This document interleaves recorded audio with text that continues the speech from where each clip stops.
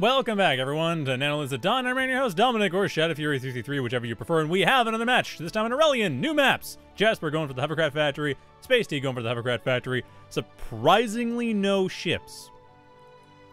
Was there an agreement beforehand to not go ships, or they're just trying to go for Mace? Okay, Jasper going for the Mace Rush. That's not surprising. I don't know why. I Don't find that surprising from Jasper, but Mace Rush. On the other hand, Space T going for daggers, which is much more of a typical late game strategy. Like, just going for early harassment scouting. You're not trying to win the game in the first five minutes. You're just, or first two minutes, rather.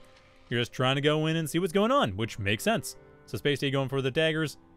Not sure why they're going up all the way here, though. I guess they're figuring that Jasper might be trying to go for some tricky economic strategies over here. Just build up these metal extractors ASAP.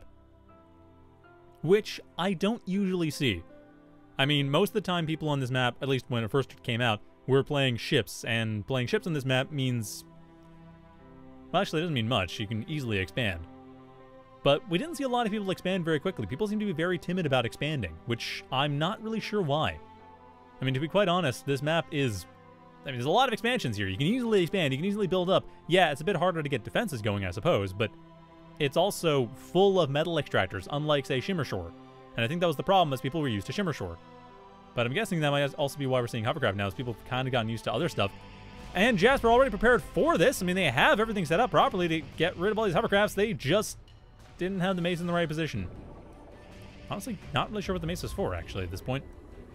It's not really... oh, I see what they're thinking. Jasper had it in front. They're expecting Space T to come in straightforwardly with the daggers, and Space T didn't do that because why would you do that? I mean, it's a very simple thing. I suppose you could just do that, but I like the way Space went. I mean, they I thought, oh, they're trying to scout the economy. No, they're just going along in an awkward position, which makes sense. That's how you raid. Your opponent is not expecting it from that angle, and you go in from that angle. And you hit your opponent and damage some stuff. And at the same time, Space T expanding, so Space T is going to have a nice and strong economy afterwards. Though, I like the fact that Jasper's using the Mace's defense. They have it set up right next to their Quill, so the Quill can easily expand and get all that stuff set up. Finally, some expansion on this map early on. Oh, okay, so finally, haven't had a chance to cast this map much, so maybe it's not a finally thing, but I'm glad to see people are expanding on this map rapidly. I'm glad to see both players expanding on this map rapidly. I, I really want to see this map as a more economic map, because it, it is. I mean, you have like 30 metal available on either side. Three. Yeah, 30 metal available on either side. So you can easily get this set up. I mean, 30 metal is enough to be able to get a second factory. It's enough to be able to get a few caretakers. If you really push it, start getting some reclaim and overdrive going, you can get 40, 50 metal. That's enough to start getting into some of the striders. Even 30 metal you can get into striders, but sea striders are more expensive, so maybe not. Looks like Jasper is definitely playing more defensively. Like, they have everything set up to try to go for later game stuff. They have the maces, they have the claymores, not really any daggers. They're relying entirely on using pure defense with fast expansion, and that's not really working. Space T is expanding way faster. Simply on account of having more workers. I mean, there's only one quill here, maybe two. Yeah, second quill has just been produced. While at the same time, Space T has what looks like four, no, two quills. More are in production quite rapidly, and they're just expanding without a care in the world. This is the thing. Space T, they don't have as much in the way of defenses. They have nothing in the way of defenses. In fact, they just got a mace. But the thing is, their economy is fine because they have the daggers up front. They've just been wrecking everything that Jasper's been trying to do, or at least putting Jasper on the back foot, so Jasper can't really attack. Now, Jasper is in a position to try to attack, but not really in a position to harass. Interesting, going to the Stardust, too. I don't know if I agree with that. Pretty sure the maces will outdamage that, or will live long enough to kill it, especially two maces and a claymore. But, not a terrible idea. At the same time, though, Jasper having moved forward like this means that Space T pretty much has free reign. The Urchins don't have a great time dealing with the daggers, and at this point, I'm actually a bit surprised we don't see Jasper build up some of the Stardusts. Because seriously, if you think about it, Stardust would be perfect for dealing with daggers, and that's what Space T's been throwing at Jasper, but at the same time, Jasper coming in here just going for a straight assault. Not even caring, just essentially going, you know what, I got a bunch of mid-game units Let's just destroy everything. Let's just wipe out as much as we can with mid-game units. Unfortunately, the Claymore was not near the Maces. The Claymore was near the Maces, that would have gone very differently. The Maces could have defended it from the daggers and then would have helped. But even then, two Maces coming into the main base right off the bat is actually really strong. Again, unfortunately, not in position with each other, though. And that is going to lead to their death and might actually lead to the game. Space T coming in with yet another Claymore, and that that'll be enough to at least wipe out a lot of Jasper's forces. But again, Jasper's way ahead economically. I mean, do they care? They lost a few daggers. They've got a ton of reclaim. How much reclaim have to work with? Yeah, they got 700 metal of reclaim to work with. Space T's fine. I mean, that assault pretty much had to win the game, and it didn't. So Jasper's kind of in a tough spot. And I really would have rather had Jasper had all the units nearby. Like, let the Maces defend the Claymores, let the Claymore come in, micro in and out so it's firing off depth charges, not getting hit in the process. That would have been more than enough to wipe out this entire base. Had the Maces stayed alive and moved in together, it could have destroyed the vast majority of this base just with the Maces, and the Claymore adding in that extra bit of damage off the depth charges would have stopped any production coming in.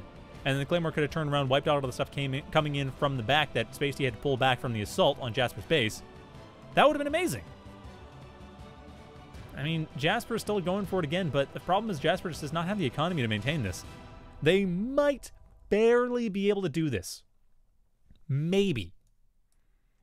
Like, there's an outside chance I could see them pulling this off if they happen to move in right now. Maybe. And micro properly this time.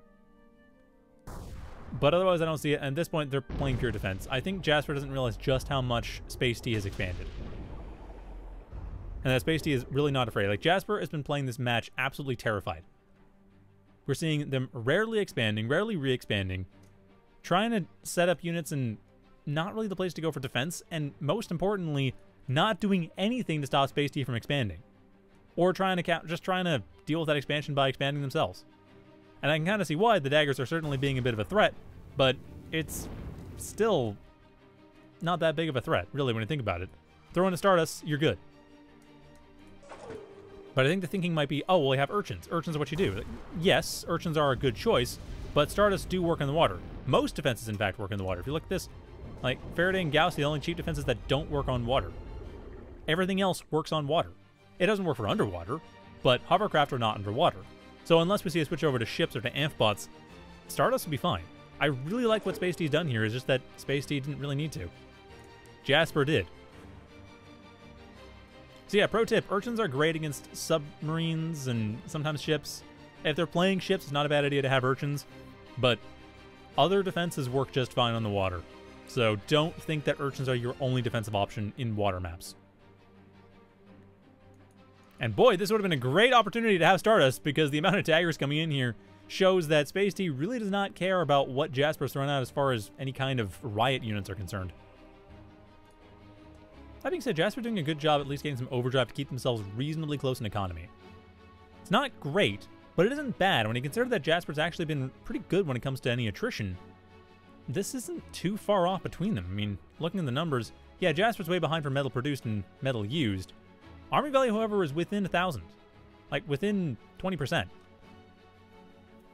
And considering that Jasper has basically a bunch of units that Space T, or sorry, Space has a bunch of units that Jasper will counter.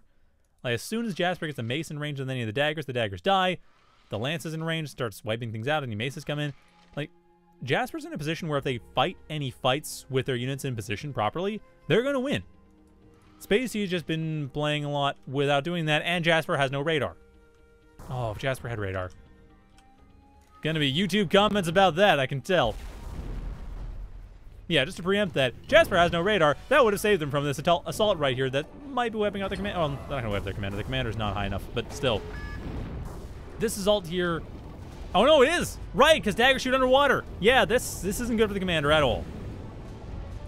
I mean, Jasper at least was not too far out of position with their forces, but they were far enough out of position that this is still a problem. Actually, no, they're done. Their, their commander's dead. They've lost a lot of their economy, too. Mostly their overdrive. I mean, this is probably going to be game from Space T here because Jasper didn't think this is land, but this is land. This is one thing I'm seeing with Space T is that clearly they have realized that this map works really well for hovercraft, or just at the very least realize there's stuff you can do with this map as far as any kind of harassment around the sides goes. And I'm glad to see that. I'm glad to see that this map is being used quite fully. I mean, obviously this section right here, the shiny hills, you can't really go on that. But, yeah, this area here, the snow, or ice or whatever, it's not hard to tell, actually. The plastic, that is, sorry. sorry, Aquanim, just not quite sure what you want to do with the specularity there. But yeah, that is... That's completely vehicle pathable. Like, look at the map here. Yeah. Just no problems whatsoever. And it's clear that Jasper didn't expect that. They were thinking, oh, it's just the butterfly. That's all I have to worry about is just the water. Everything in the water is just the stuff on the water. And no, that's not how it works. Not for hovercraft. For ships, yes. For hovercraft, no. So Jasper, they had a chance. They kind of lost it. And it looks like they're desperately trying to stay in this game, but it's not going to happen. At least not the current setup. I mean, I don't know. The Lance maybe, but the problem is Jasper's forces are simply not in position. Space T doesn't have to care. They can move the unit forces wherever the heck they want.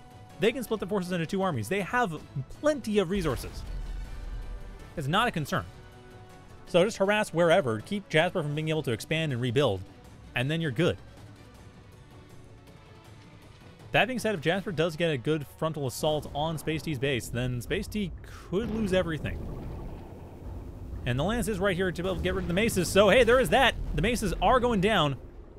The assault has been more or less stopped. Jasper just needs to rebuild, get some metal extractors back up.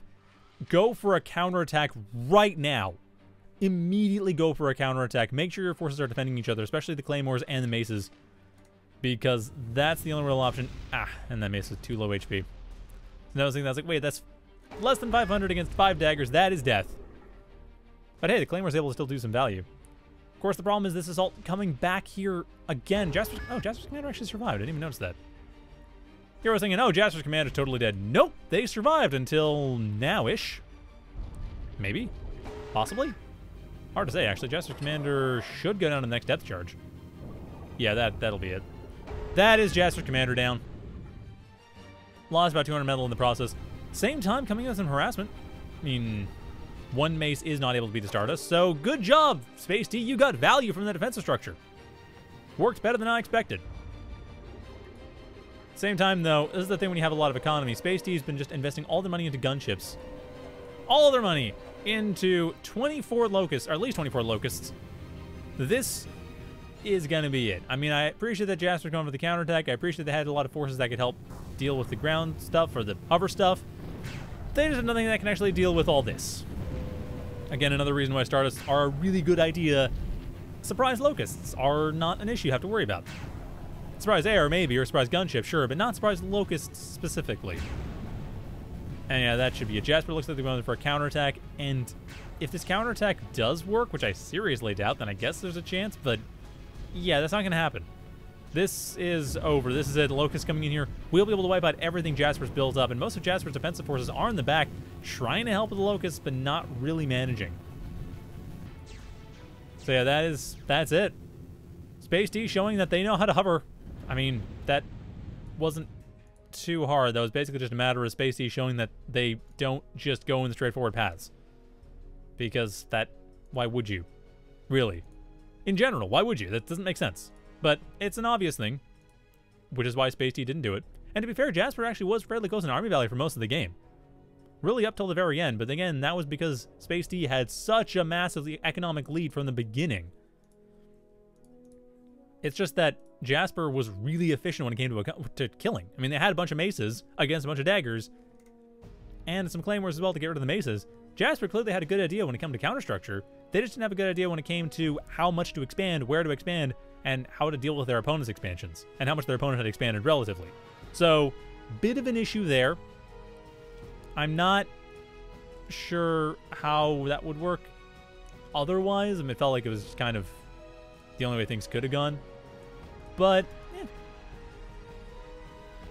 eh. I could see Jasper having, if they did some better micro on their early assault, they actually could have managed, like when they were attacking the main base with a couple claymore, or the claymores and a couple maces, I could I could see that actually have working. Like, I can't grammar today. I could see that actually working if the units were in the right position. If they were close enough together that the maces were protecting the claymores from the daggers, that would have been a lot of damage that could have completely undermined Space T, because that would have been a great timing attack. But that was a great timing attack. It just didn't get executed properly. Anyway, that is going to be that match. So the next match is going to be Sparkles and 400 on New Yamas. So that'll be up in a couple minutes. Stay tuned.